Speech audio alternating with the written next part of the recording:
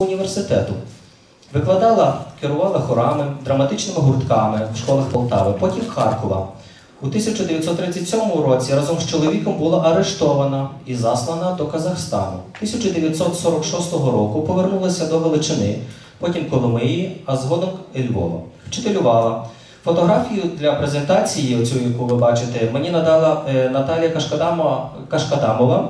Абсолютно випадково. Я шукав е, про жінок-диригентів, і буквально е, в мене була вже готова презентація, і вона каже: ви знаєте про Софію е, е, Левицьку Замору? Я кажу, знаю, але я не маю фотографії. Вона каже, це моя бабуся.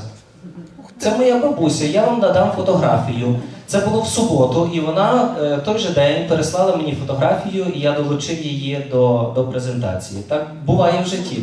А випадково це як сталося? Я опрацьовував матеріал у Львівській консерваторії в бібліоте... в читальному залі, і вона сиділа біля мене. І вона побачила, що каже: А що ви робите? Я кажу, я шукаю про жінок-диригенток, які були в Станіславові. Вона каже, а і, і, ту, і ту історію, яку я вам щойно розказав. Так що випадковості не випадкові. Далі. Хронологічною наступною репрезентанткою є Агафія Степаняк. Вона народилася у сім'ї заможного печеніжинського господаря Пнівчука. Миколи і його дружини Марії. Закінчила Коломийський педагогічний університет, була членом пласту, вчилася гри на скрипці у професора Романа Ру виконувала роль цвіркуна в опері Миколи Лисенка Ноктюн. Вона також брала участь у скрипковому квартеті в Печеніжинському оркестрі. З 1927 року вчителювала у приватній новоствореній школі Рідна школа, яка, до речі, заснована її батьками, меценатами в Печеніжині. Шість років викладала і потім шість років була директоркою рідної школи. У цій школі керувала дитячим хором. Зачитаю вам уривок. Наступною репрезентанткою є Івана Теодорівна Лапук. Зачитаю вам уривок з книги Ганни, професор Ганни Васильівни Карась. В 1937 році керівництво хору в селі Микитинці обійняла випускниця жіночої учительської семінарії Івана Теодорівна Лапук. Семінарії, яку закінчила в 1935 році, вона навчалася літератури у Миколи Лепкого, музики і співу у Ярослава Барнича, згодом засновника гуцульського ансамблю пісні і танцю, творця широко відомої пісні Гуцулка Ксеня, оберет вокально-хорових творів. Всього три роки працювала диригенткою у Микитинській, з Микитинським хором, але спогади про ці роки зігрівали її в далекому Сибірі, коли була, коли була заслана, е, як свідома патріотка. І впродовж всього тривалого життя, майже 80 років, коли, повернувшись в Україну, не мала роботи і одиноко, проте гордо зносила випробування долі. У спілкуванні з панною Іванною, селі її називали пані Лобуківна, Довідуємося про цікавий факт в історії хору. Ішовши пішки на репетиції, тоді ще називалися проби, з мікрорайону Мазлі через міст, вона обов'язково мала показати польському жандарму зміст своєї сумки. А оскільки, окрім нот, нічого не було, треба було показати їх. Серед партитур був гімн ще не мерла Україна Вербицького, проте без слів. Я не підписувала, я не підписувала її, згадувала е, пані Лапук, бо жандар міг прочитати і мене арештувати, а в нотах він не розумівся. Так молода патріотка, ризикуючи свободу, і несла селянам національну музику, підносила їх національну свідомість. Її трагічна смерть напередодні 80-річчя обірвала не тільки нитку її життя, але й наш зв'язок з довоєнним поколінням диригентів хору. Організаторкою та керівником хорів у селі Терпилівка та місті Косові була фольклористкою також Анна Зіновія Герсимович Когут, що була випускницею філософського факультету у Карловому університеті у Празі. Її батько Володимир був священником, мати Євгенія, дочка священника.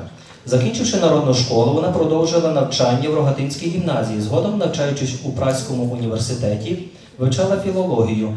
Там вона брала участь в академічному українському хорі, в якому вона багато було багато вихованців Української республіканської капели Олександра Кошиця та учасники хору Дмитра Котка. Керівником українського академічного хору у Празі спочатку був Реченевський, а пізніше Платоніда Втуровська Рогалевич. Вона підготувала хор, і він пробув, здобув право на участь у фестивалі, який проводився у 1925 році у Празі. У 1925 році Анна Зиновій Герасимович повернулася з Праги разом з своїм чоловіком Федором Когутом.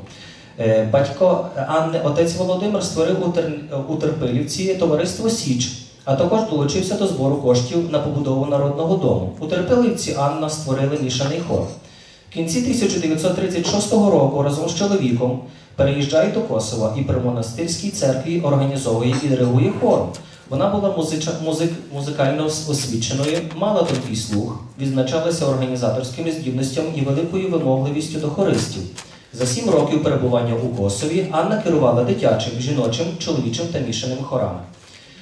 Під встановлення у вересні 1939 року, після встановлення у вересні 1939 року радянської влади подружжя Когутів вчителюють у новоствореній гімназії. Анна вчить дітей співу, веде шкільний хор та керує чоловічим хором трембіта. У 1942 році в Західній Україні відбувся краєвий конкурс хорів з нагоди століття від дня народження Миколи Лисенка. До конкурсу зголосилося 450 хорів. За підсумками до Львова відібрано було 26 найкращих хорів з Галичини, Лемківщини та Посяння. До їх числа потрапив і хор Трембіта з Косова. Він посів друге місце серед містечкових хорів. Обов'язками для обов'язковими для виконання на цьому конкурсі були три пісні в обробці Миколи Лисенка: Ой Діброво, Ой Гай Гай Мати, Час додому, час. Окрім них, хор виконав пісні Гей гук, мати гук, Ой, що ж бо то, вітер коло хати. Під час фестивалю усі співаки пройшли містом Львовом до Свято-Юрської гори, щоб там на площі архікатедрального храму скласти поклін митрополитові Андрею Шептицькому.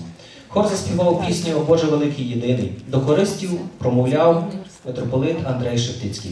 У січні 1943 року чоловічий хор Анни Когут Требіта, на жаль, перестав існувати. З наближенням другого визволення подружжя Когутів пішло у підпілля. Федір Когут Берест загинув навесні 1945 року, а Анну Когут, псевдонім Лоза і Христя, арештували в Коломиї за, за членство в ОУН. На засланні Анна організовує хор, репетиції якого відбуваються у віддалених місцях. Під псевдонімом Дзвінчук також видає збірник патріотичних пісень, співає думу, чор... співає думу Чорногора з власною музикою на тексти Марка Боїслава та інших авторів. Після звільнення Анна Когот повертається в село Терпилівка, організовує хор, з яким починає концертувати по районі. Хор виступає з великим успіхом і в області, та також в Києві. Але за радянських часів було важко бути і працювати, бо її весь час переслідували відповідні органи. Вона з терпилівським хором ніколи не співала своїх пісень, і ніхто не знав, що вона писала їх. В репертуарі сільського хору були пісні Леонтовича, Лисенка та також пісні на слова Шевченка, українські народні е, та чеські пісні. Хор села Терпилівка під час творчого звіту Тернопільської області зняли на телебаченні для показу у популярній передачі Сонячні кларнети. Невдовзі 4 травня 1989 року на 91-му житті, е, році життя померла е, Анна Когон. У 1999 році у Тернополі відбувалися пам'ятні концерти з нагоди сторіччя від дня народження та 10-ї річниці від дня смерті Анни Герасимович Когут. Виходячи з наведених фактів, ми можемо говорити про гендерні тенденції, що в кінці 19-го, початку 20-го століття почали проявлятися у фемінізації української хорової культури Галичини. У своєму дослідженні ми окреслили особливості цих фемінізаційних процесів на прикладі життя та творчості жінок-диригентів, першими з яких були Євгенія Барвінська, Олена Ясеницька Волошин, Євгенія Курилович, Ірина Селезінка, Наталія Леонтович Башук, Ірина Сулима, Лідія Каратницька, Софія Левицька Замора, Агафія Степаняк, Івана Лапук та Анна Герасимович Когут. Для нас було важливо виявити ще недосліджений у історії е, е, хорової культури пласт жінка-диригент. Ця частина історії тільки починає розкриватися перед нами, і ми віримо, що в майбутньому вона буде досліджена глибше і ґрунтовніше. Дякую всім за увагу. Інтерпрація.